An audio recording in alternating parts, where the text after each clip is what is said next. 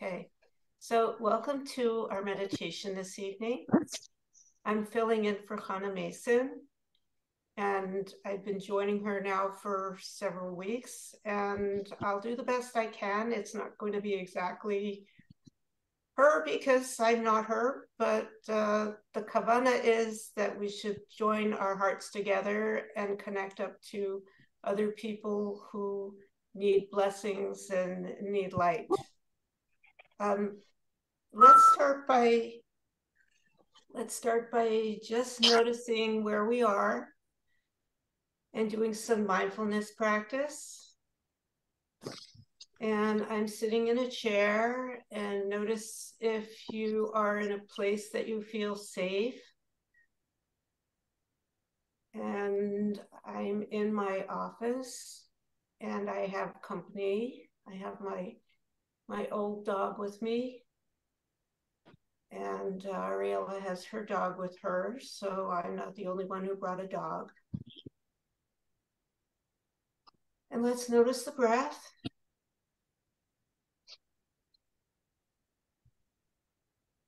Breathing in,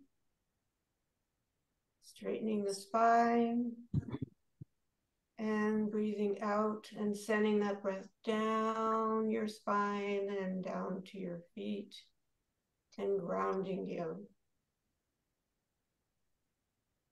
Let's try that a few times. Breathing in and breathing out. Noticing if you have any kind of stiffness or sensations that are distracting you, or perhaps a noisy brain, which is not unusual. And coming back to the breath as an anchor.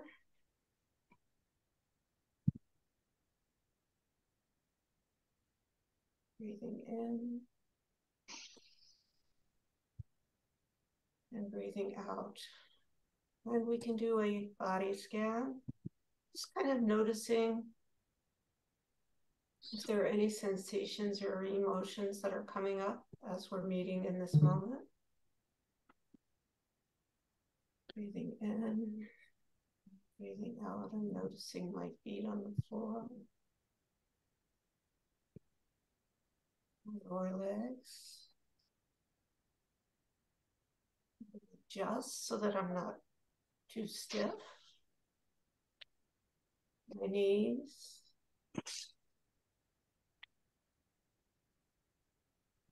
Upper legs.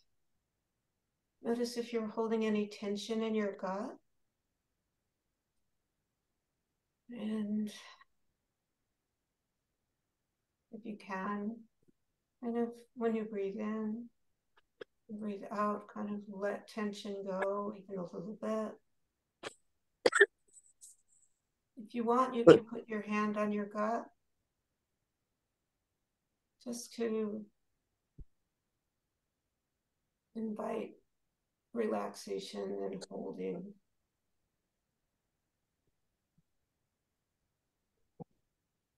Noticing any tension in your chest, tightness, or heaviness. You can go to the back. Notice if you have any discomfort anywhere in your back, lower, middle, or upper back.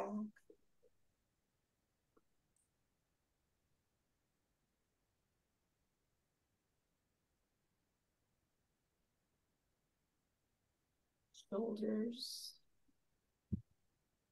arms, hands. If you find that you're if you find that your mind is is drifting into thoughts, you can just label it thinking and just kind of take those thoughts and set those aside and say, it's okay, we'll be back, we'll think about these things later and come back to the practice.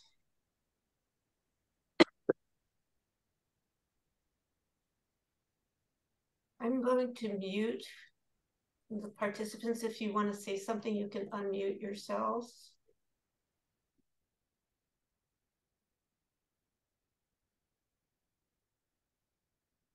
Notice your neck. your throat. Sometimes when we have big emotions, they get caught in our throat. Your face. Don't forget the jaw and the head. Let's go back to the breath.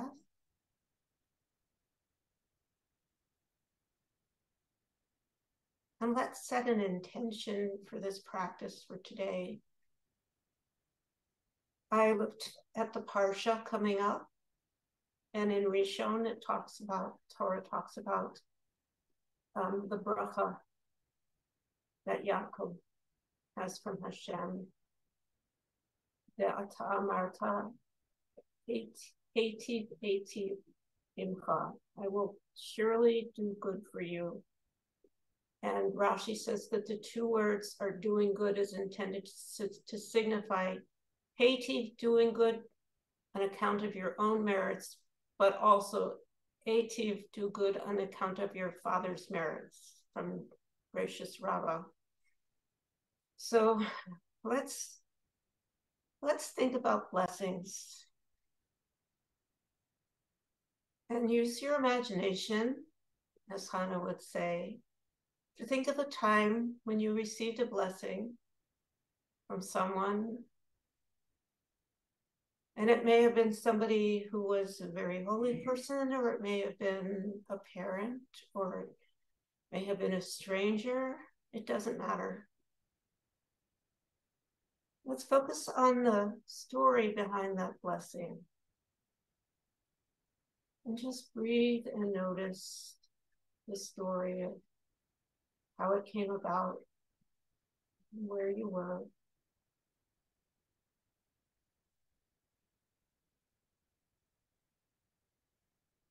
And did you request that blessing or did it come kind of unexpected, and unannounced?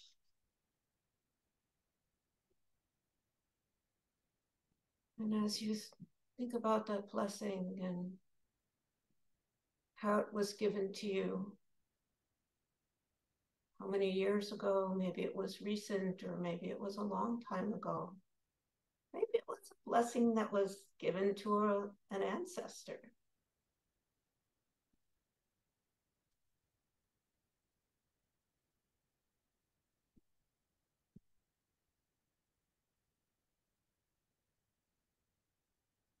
Notice any emotions that come forward as you're reflecting on that blessing and the being that gave you that blessing. Maybe it came directly from a correspondent.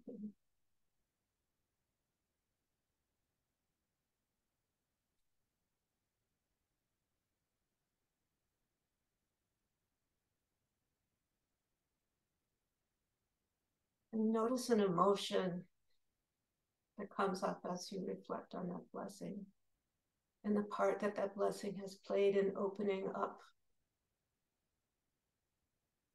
opening up your awareness and opening up positive opportunities or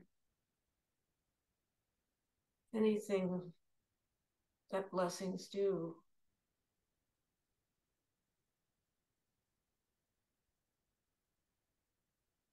And I'm noticing gratitude for the bracha that I received, that I have in mind.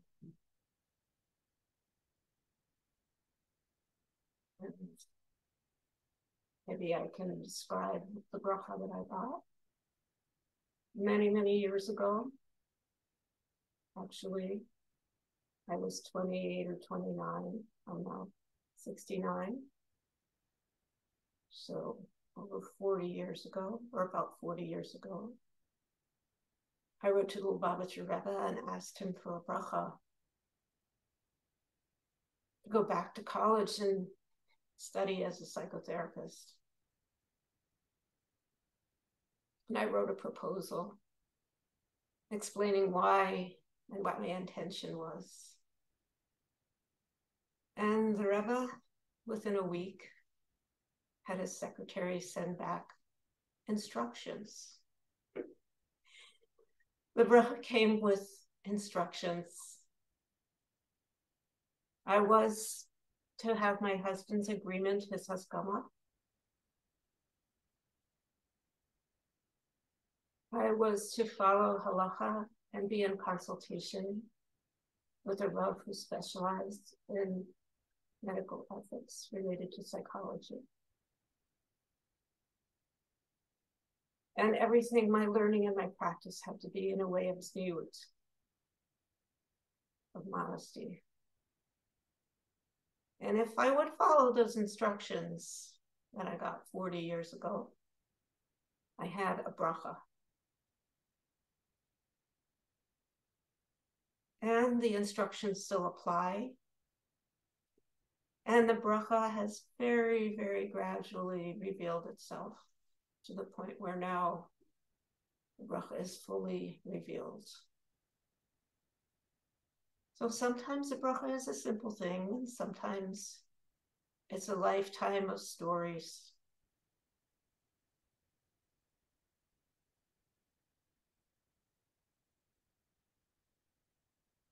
So let's notice whatever emotion or sensation comes up as you reflect on the bracha that you receive. And let's shift gears and let's reflect on a bracha that you might want to give to someone else. Let's start with an individual that you want to bless. And then after that, then we can join forces together and we can take this bracha from the Parsha and ask Kadosh Baruch Hu to reveal the good and the merit of our present generation and the merit of the fathers and the mothers from all the previous generations. So let's do a personal bracha for someone who you know needs one. And just breathing and opening up. And if you're noticing any stiffness or any busy brain, just be curious and compassionate toward that. and ask those parts to just kind of let you focus on who you would like to give this bracha to, what your kavana, what your intention is.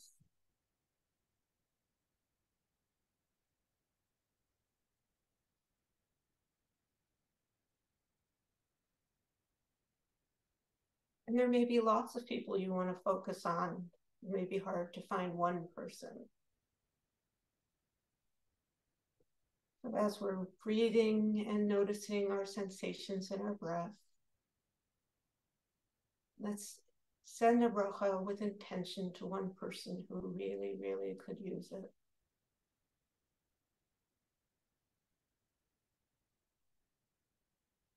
And from your heart,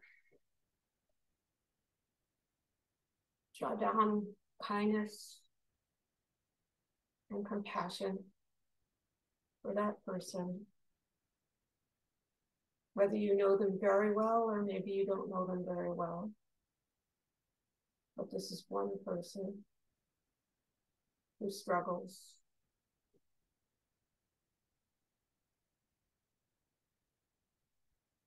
And maybe they don't know where to start because they're stuck. And that's what a bracha does. It takes us out of the stuck.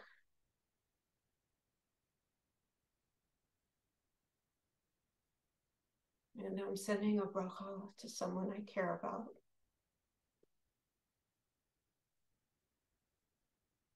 May that person be healthy. May that person be at peace.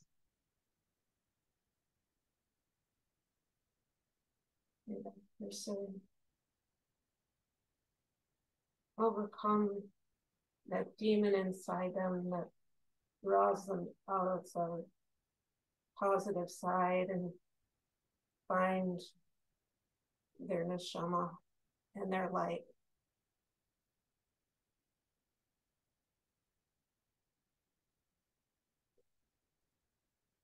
And we can add to that as we breathe in and out, we can use the mantra shalom, peace, also a name of Hashem. Shalom. Shalom.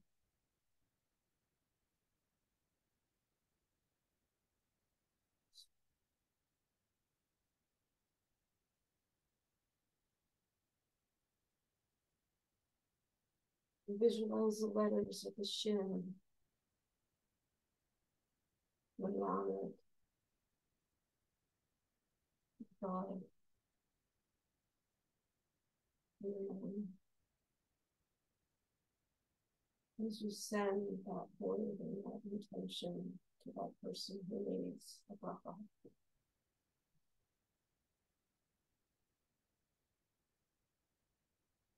When you're ready, we can shift gears.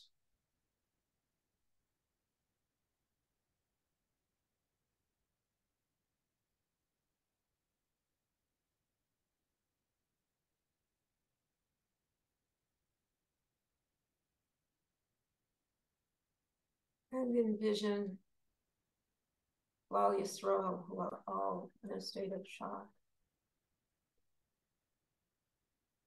About returning to biblical levels of persecution.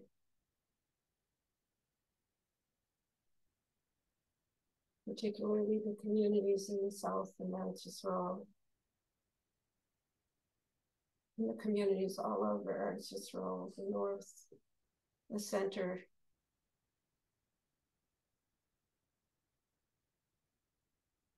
Just feel that Shalom. And the pasuk from the Chumash, V'ata Amarta, you said, Eti Eti Imcha, I will give you goodness.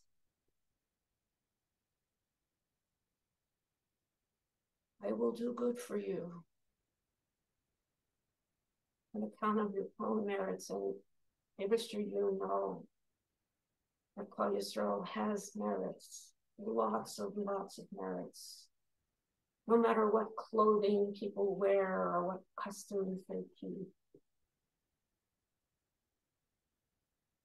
Somebody who might look like the farthest from goodness might be the one who's the closest to goodness.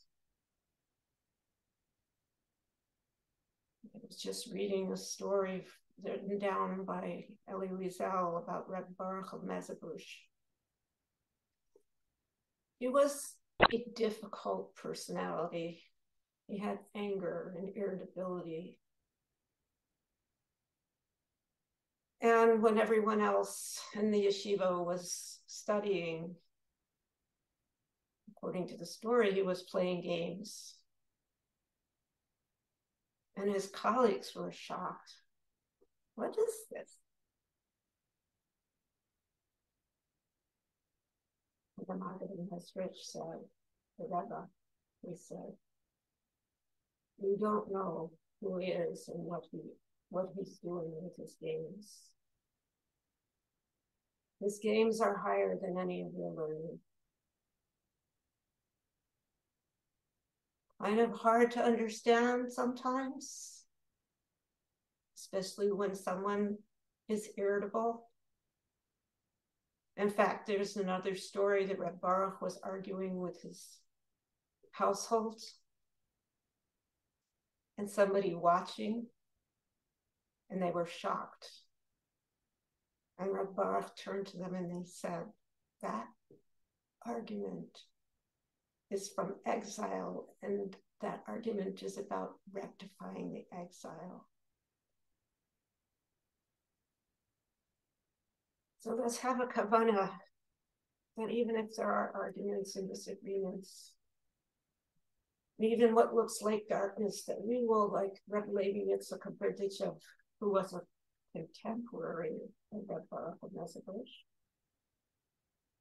that we will look at the good side of our brothers and sisters and send them brachas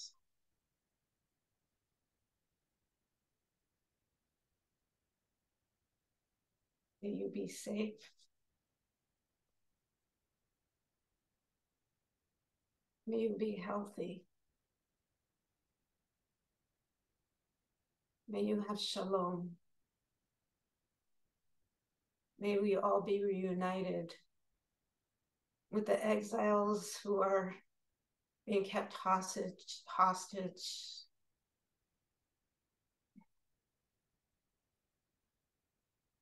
And the exiles inside ourselves, which we are holding hostage, that keep us from fully realizing our capacity that all of us should be redeemed from our exile. In the merit of our present generation and the merit of the fathers and the mothers, our grandmothers, our grandfathers, our great grandmothers, our great grandfathers, and all the way back to Abraham, Yitzchak, and Yaakov.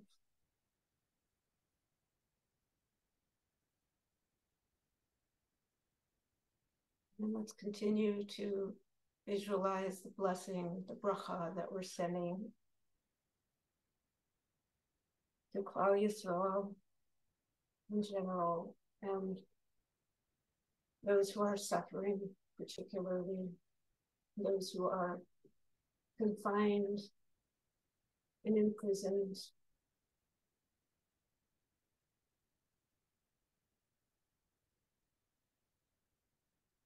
noticing your breath.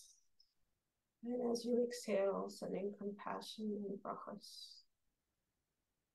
Breathing in, taking in that kindness of HaKadosh Baruch Hu, overseeing our, brach, our, our, our breath, and then breathing out and sending that kindness and compassion to Klal Yisrael. And let's stay with that for a few minutes.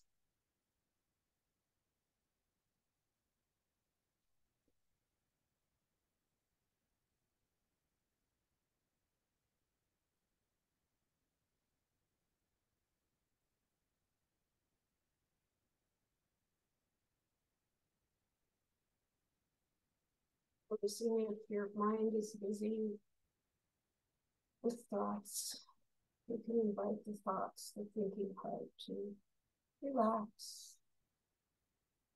Maybe take a look at that mountain or look out the window to give it somewhere else to look at or somewhere else to go.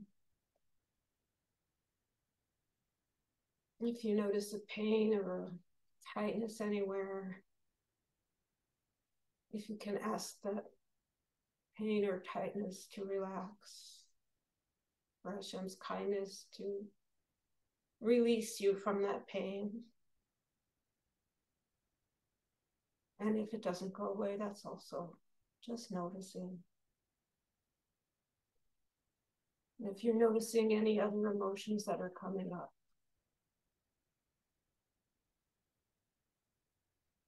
whether positive or negative. Welcome those emotions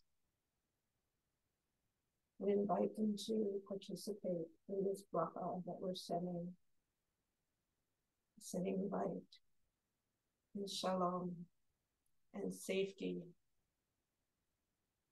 And Hashem blessed us in this parsha on Yom Rishon and Hashem continues to bless us.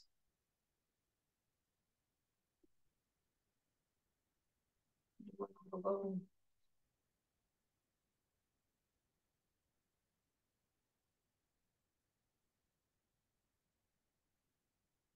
We're going to stop in a few minutes.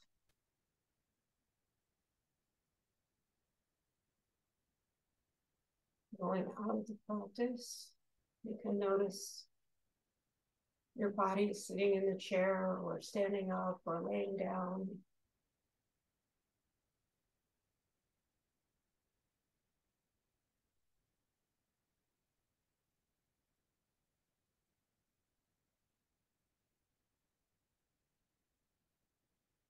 And when you're ready, you can open your eyes and reorient back into the room or the outside space that you're in.